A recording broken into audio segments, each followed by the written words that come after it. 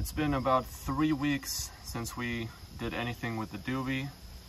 I'm getting ready to do a quick tune-up because tomorrow I have to drive 300 miles and I will shoot a detailed update on what's going on.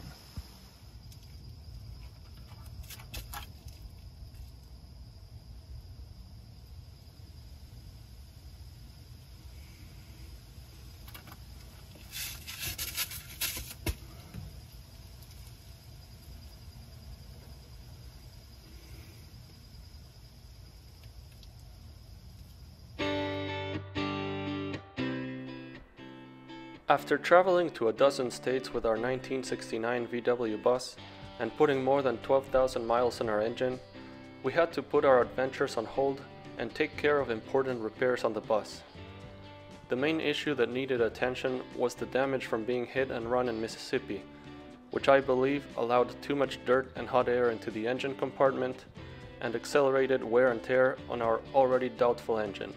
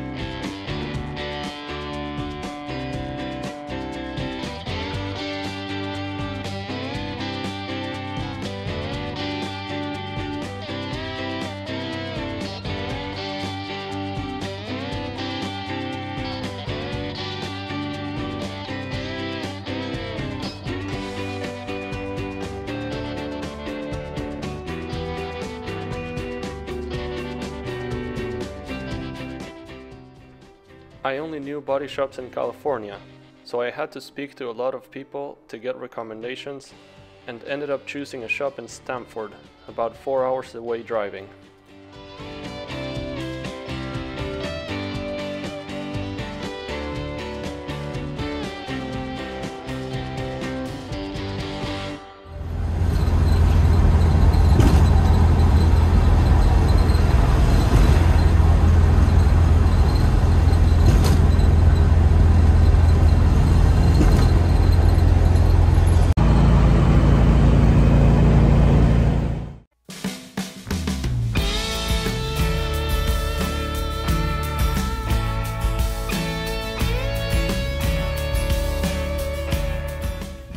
No. ¿En este?